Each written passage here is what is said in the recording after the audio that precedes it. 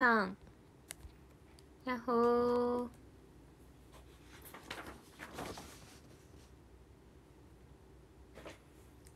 こんばんは。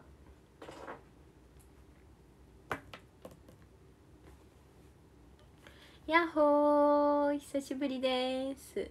はい、えー、ナンバー新しい夜明け大作戦のあのー、担当が回ってまいりました。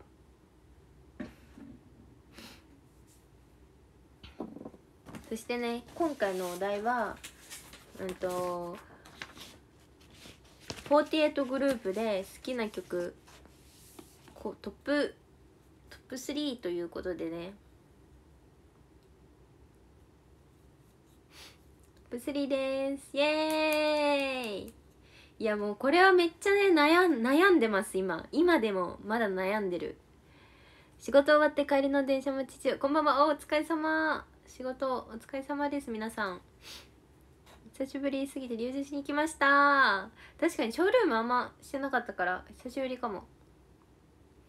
握手会と写メ会叩き会旗叩き会買ったよ。ありがとう。そう今日のね一次受付は今日までだったのだったんですけど二次受付もあるのでぜひ私のツイッターねツイッターにえー、表とかの固定ツイートにしてるのでねちょっとツイッターで思い出した。トップ3選ぶの悩んじゃうそう。トップ3悩んじゃう。えどうしよう。まず3位からも3位はちょっと決まってるっていうか。これずっと言ってるんですけど。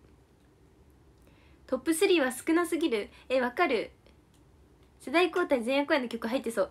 どうだろう。あーでも入っいや入れたいけどでもトップ3ってなるとどうしようかな。えまずまあ3位は私的は私これずっと言ってるんですけど分かりますか？皆さん。NMB48 の曲です。皆さん分かりますか？予想してください私の3位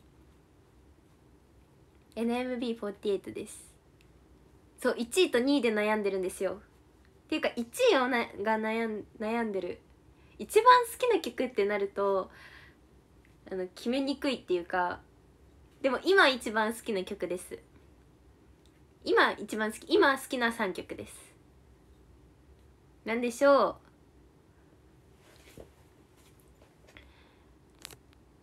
ピーク僕らのよりいかジュゴンナメクジハート青春のラップタイムジュゴンおこの中に正解あります。邪魔すんでヤッホー。渚最高はまだ解禁されてません。渚最高もいい曲ですけど。先週のラップタイム。そう正解はね3位はなんとこちらです。書きますね3位。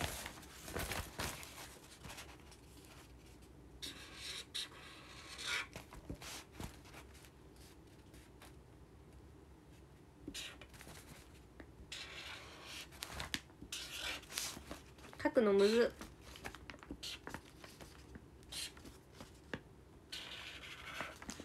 じゃーん。1位はこちら。あ1位じゃない。3位はこちら。ピークです。そう私ピークがあの好きであの元日の9期生特別公演でユニット曲でねこの曲が入ってたんですけど私はあのあのうわ急にどうするした名前。僕が負けた夏だったんですよ。そう思い出した。僕が負けた夏でピークはピークのメンバーじゃなかったんですけど本当に好きで大好きでこの曲がもう初めて聴いた時からずっと好きであのもうね最初の入りの音とかめっちゃ好きなんですよ。チャララララランっていう音がそれでピークがあの3番です。3位です。そして2位。2位を考えましょうか。そうピークはあの、まあ、歌詞も好きなんですけどなんていうのリズム感っていうか最初の音とかもめっちゃ好きで。こんばんは皆さんこんばんは。そうピークね。そう新春は僕負けだったんですよ。僕負けもめっちゃ好きなんですけどやっぱあのピークね。どうなんだろう。なんかさあのー、1周年？あのその元日だから今年の元日にやった公演の1周年後来年の1月1日にまた同じ同じというか特別公演があるじゃないですか。そのそれで同じ曲をやるやるのかそれともユニットがまたシャッフルされるのかみたいなのめっちゃ気になってて。皆さんはどんななんかどう思いますか？シャッフルされると思いますか？それともなんかその時にやったメンバーで同じ同じメンバーでやってそのなんかちょっと成長みたいな 成長度合いみたいなのどうなるんだろう？めっちゃ気になるそこも。私はピークやりたいです。メガネしてる時口が開いてるアドレナリンのリオピ確認したい。えー、あしあさってかあさっての公演でぜひ確認してください。体力が落ちすぎてて多分やばい。本当にあの話それるんですけど公演世代交代全公演ずっと出てなくてチカッパ祭の前なんでラストが。そっからずっと出てなくて体力が絶対なくなってると思ってやばい。緊張する。あ決勝もいい曲だよね。うわえ待ってどうしよう。ちょっとさ候補がいろいろ出まくってきた。待ってました新学期。あ待ってました新学期はちょっとちょっと合わない気がする。もうあのもうちょっと下のね9期はね私より下のメンバーが多いんで年齢が。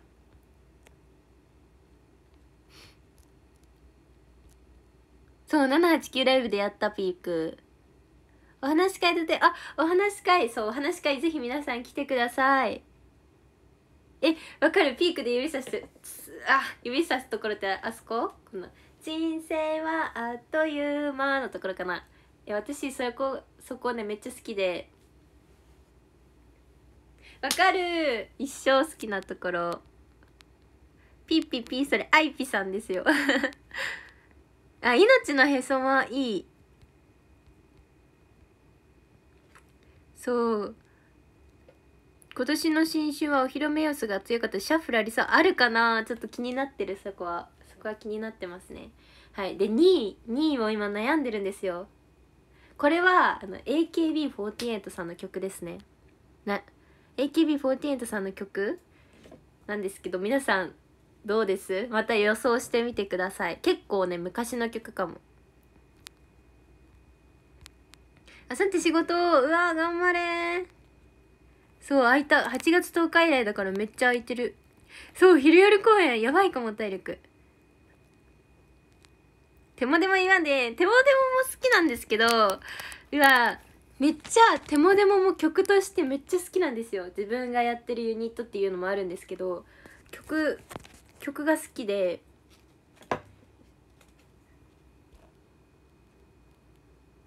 うわどうしよう。えプライオリティもリオピが好きって言ってるイニシャル言った。あのあのモバメで言いましたね。いや待って。ちょっと悩んできた。でも2位はちょっと決まってるかも。AKB48 の曲。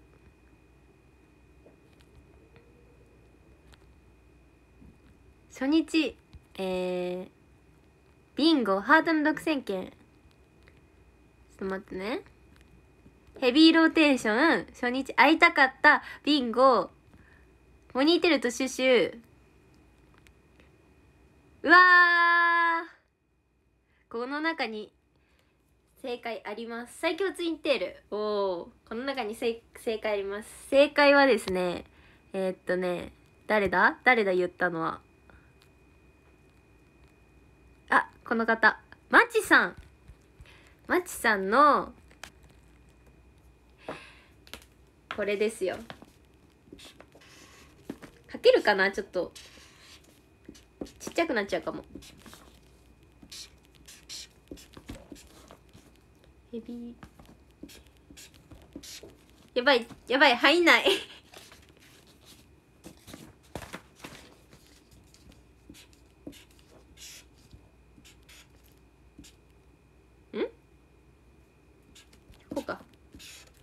とちょっと入らなくて 2, 2, つになっちゃったんですけどはい2位はこれです。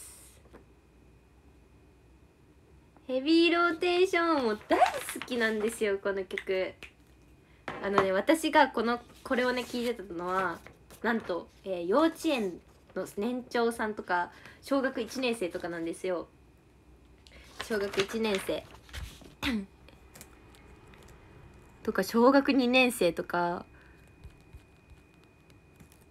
そこら辺だったんですよ。でももうこれ本当にもう何回も何十回も聞いててこれあのー、テレビとかめっちゃその時ヘビーローテーションがめっちゃあの流れててテレビとかで。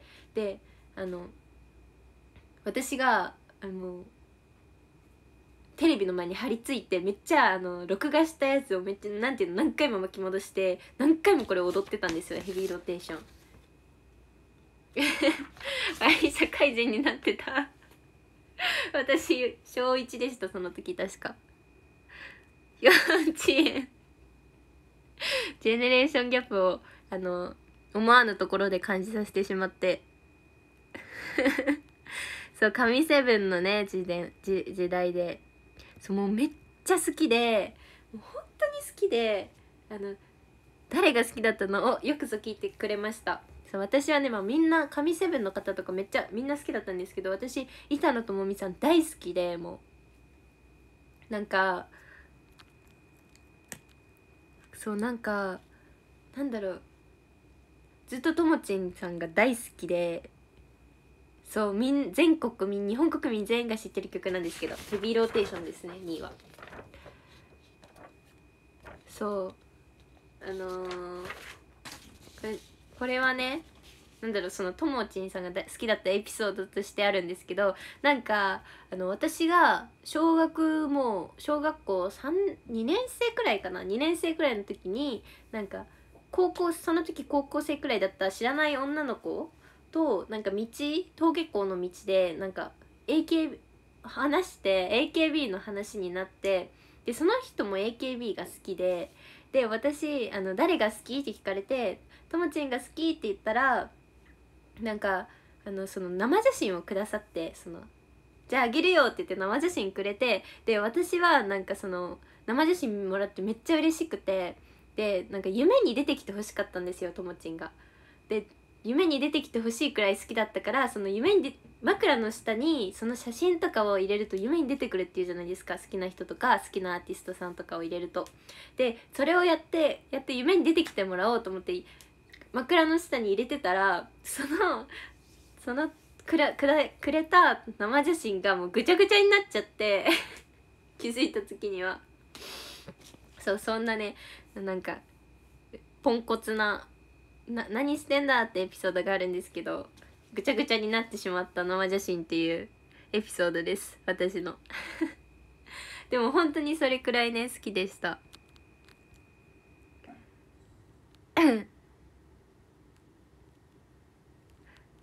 握手会当たったよ。お楽しみ。そうみんなだからねその何がどんな曲好きだったとかぜひ握手会で教えてください。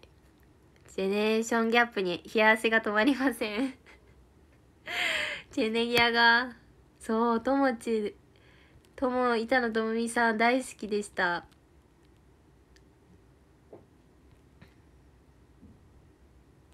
えー、結構多いんですね。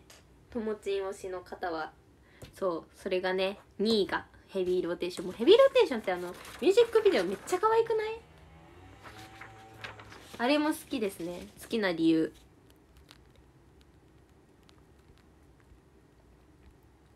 そりゃそうなるわな。そうでしょうね。そうでもそんなあの小学2年生くらいのあの私にもた私にはねただね夢に出てきてほしいっていうその考えしかなくて。そのぐちゃぐちゃになるなんてことは思ってもなくてすごく悲しかったです。ぐちゃぐちゃになるのは怖るそうだよ。両日の写真とかもねぐちゃぐちゃにならないでようにしてください皆さん。はい。そして第1位を考えていきましょう。正直第1位決まってません。いや決まってないんですよ。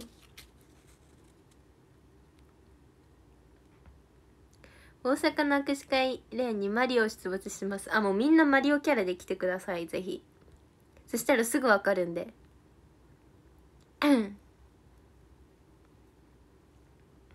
いやジェネレーションチェンジ？ジェネレーションチェンジも好きなんですよ。えー、どうしようどうしよう。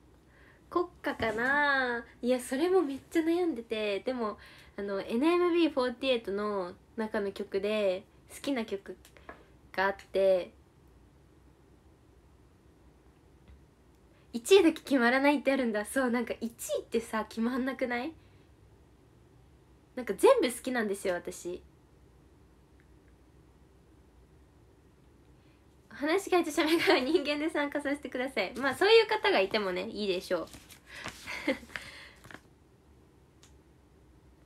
まあ1位はやっぱりこれかな。ちょっと決めました心の中で。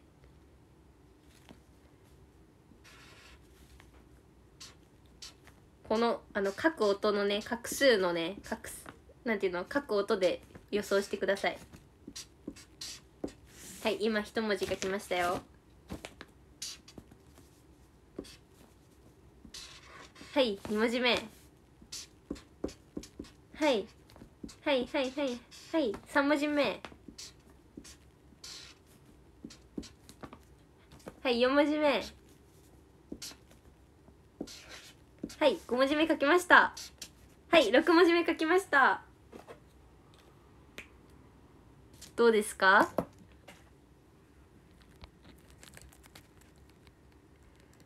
ロタピーポーでワルトピーポーもいい曲だけどね。え？みんなすごい。じゃん。1位夢は逃げない。すごい。なんでだろう？なんでわかったの？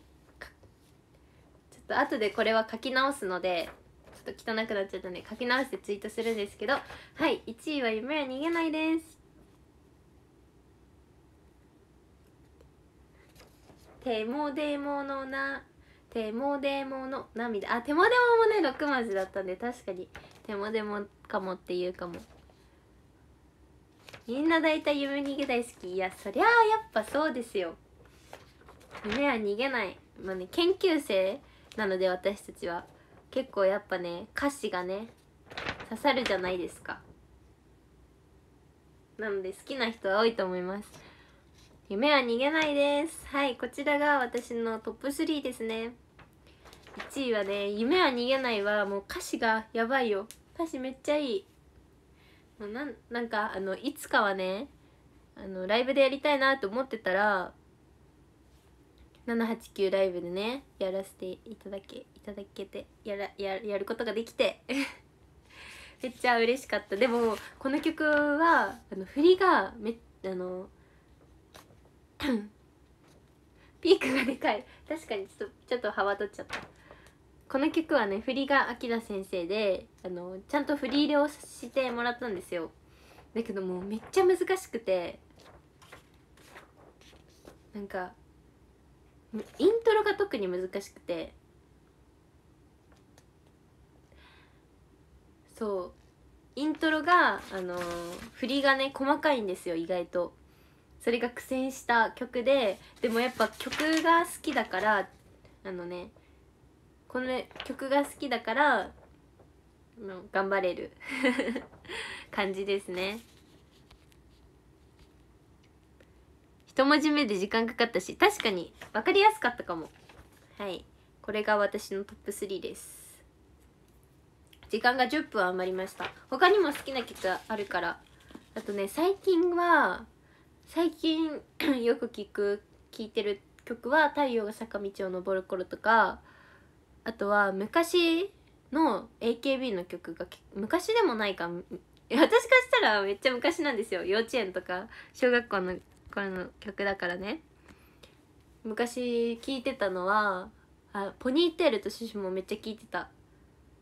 ヘビーローテーションの次に好きかも。ポニーテールとシュシュ。あとはなんだろう何聴いてたかな？結構ねあの AKB の曲をたくさん聴いてそう神セブンのねと呼ばれる時代の時代だったので。どの辺が難しい？どの辺が難しい？あのじゃんじゃんじゃんじゃんじゃんじちゃんちゃんちゃんちゃんちゃんちゃんちゃんちゃんちゃんちゃん。ちゃんちゃんちゃんちゃんちゃかちゃんちゃかちゃんのところが難しいです。伝わる？ちゃんちゃんちゃんちゃんちゃんいくぞ。ちゃんちゃんちゃんちゃんちゃかちゃん。この後のこの後が難しいんですよ。これのトントンっていう。語彙力がなさすぎて。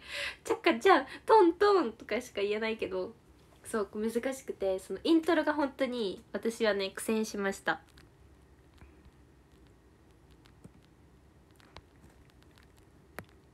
そう踊れた時えでもなんかあの私お披露目はナンバーアイだったんですけど9期生絶対あの夢は逃げないなんだろうなと思ってて。勝手に予想して勝手に夢は逃げないめっちゃ踊り見てたんでサビとかはめすぐに踊れました。なんだろう。こういうあの雰囲気ではちゃ覚えてたのでうん。でも細かいのとかはあの覚えてなかったんですけど。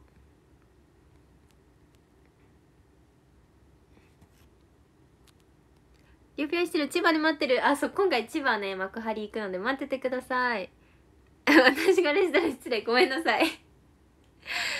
えポニーテールとシュシは幼稚園じゃないかも。それはあの小学校かな。小学1年生とか2年生だった気がする。そう十何年前なのでね。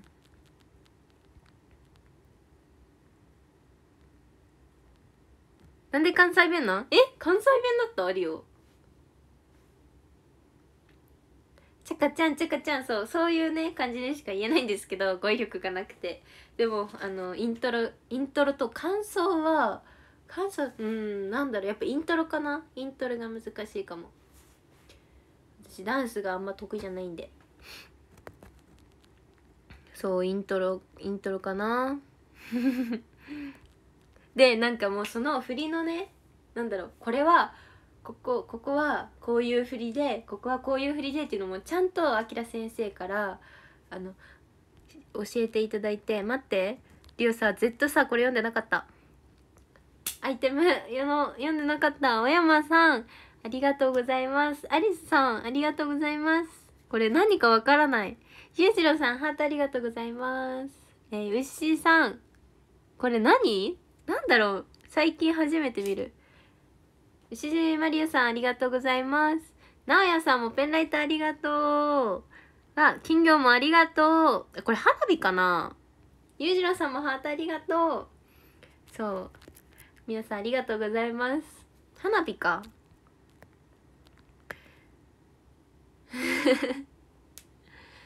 あとはね、タンポポの決心も好きだし、他の曲だと。太陽が坂道を登る子も聴いてるしタンポポの決心も好き。ジェネレーションチェンジも好きだし手もでもの涙も好きだしもちろん。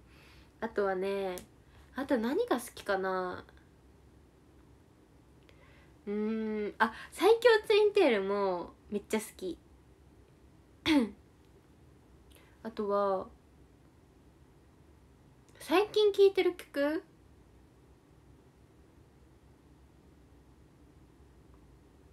あでも北川賢治はもう定期的に聞いてます北健は。やっと仕事終わったお疲れ。はい私のトップ3はこちらです。ピークヘビーローテーション夢は逃げないです。不毛はやっぱり難しかった。不毛やばい。マジで難しい。今でも難しい。そう。あひきら先生の振りって振りで歌詞を思い出したりするのかな？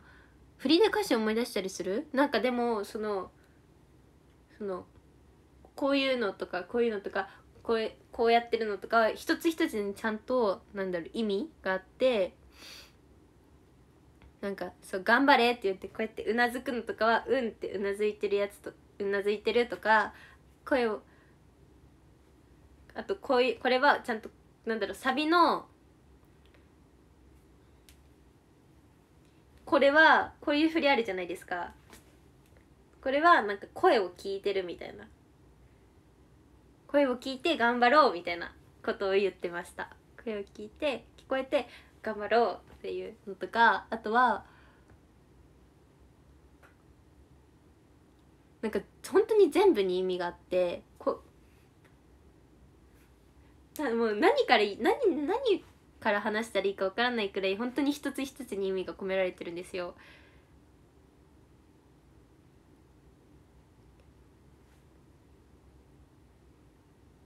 うん。あと特に私が印象的だったのは最後の落ちサビ。落ちサビがあるんですけどラスサビかな？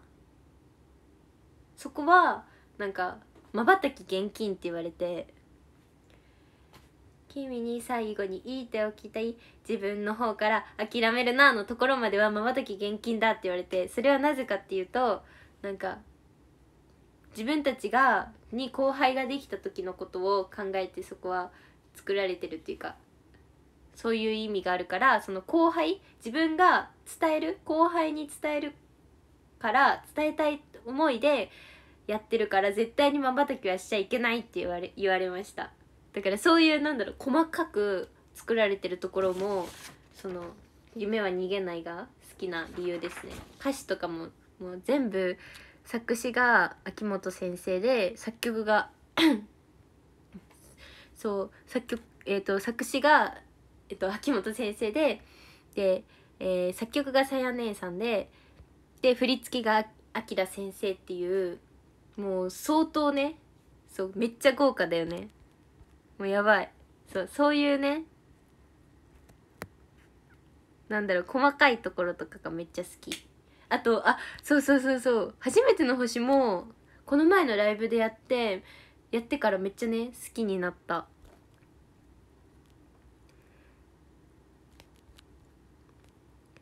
ゆじろさんハートありがとう。そうまばたき現金って言って。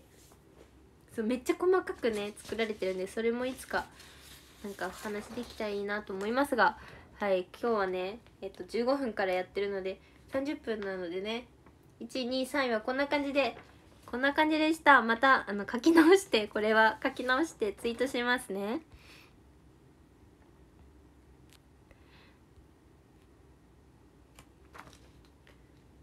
はい。それでは皆さん あいくねこさんレインボスターありがとう。スター。てつくんもありがとう。ありがとうレインボースター。それではえー、男女読みをしたいと思います。13位からいきます。13位ゴーシさんありがとうございます。そして12位ゆうじろうさん。あ変わったぞ。変わった。13位から読みますね、えー、13位マスオさんありがとうございます。そして12位てつくんありがとうございます。そして11位は、えー、ゆうじろうさんありがとうございます。そして10位北野大地さんありがとうございます、えー、9位が牛島りおさんありがとうございます。そして8位小山さんありがとうございます、えー、7位えー、純一さんありがとうございます。分かりたいだ。そして6位マッチさんありがとうございます。そして5位宝野さんありがとうございます。4位は、えー、野原しんのすけのすけさんありがとうございます。そして3位、えー、誠さんありがとうございます。そして2位いぐねこさんありがとうございます。そして1位は、えー、直哉さんありがとうございます。はい皆さんありがとうございました。私の好きな曲トップ3でした。あ明日の朝の配信メンバーありがとう。あ私はちゃんと学びました。明日の朝の配信をちゃんと覚えてきました。明日は、えー、朝レイポンです。レイポンの配信をぜひレイポンの好きな曲トップ3をね トップ3をあの見に行ってください。私のマイマイガールフレンドです。はいえっ、ー、と27日にえあさって世代交代前夜公演昼夜公演あるのでそちらも見に来てくださったら嬉しいです。そしてえっ、とオンラインお話し会、えー、個別握手会個別写メ会肩たたき会のあのー、二次受付ももうすぐ始まるのでそちらも見てくれたら嬉しいです。ツイッターツイッターに載ってるのでね好きな時に来てください。そう同じロッカーが同じコンビです。それでは皆さんおやすみなさい。来てくれてありがとう。バイバイ。さよなら。またね。